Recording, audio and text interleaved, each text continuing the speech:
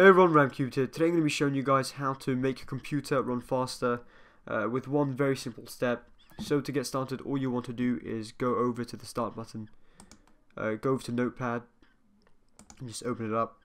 Uh, and once you've got Notepad opened up, you just want to copy and paste the code, uh, which is in the description of this video.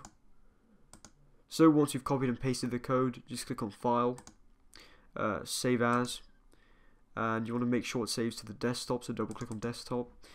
Um, and the file name needs to be clear uh, space dot vbs so once it's like this just click on save and you should see it appear on your computer screen.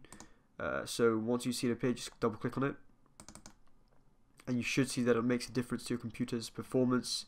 Uh, it should make your computer run faster uh, so if this helps, don't forget to hit the like and subscribe button. Uh, and I'll see you guys in the next vid. Peace, I'm out.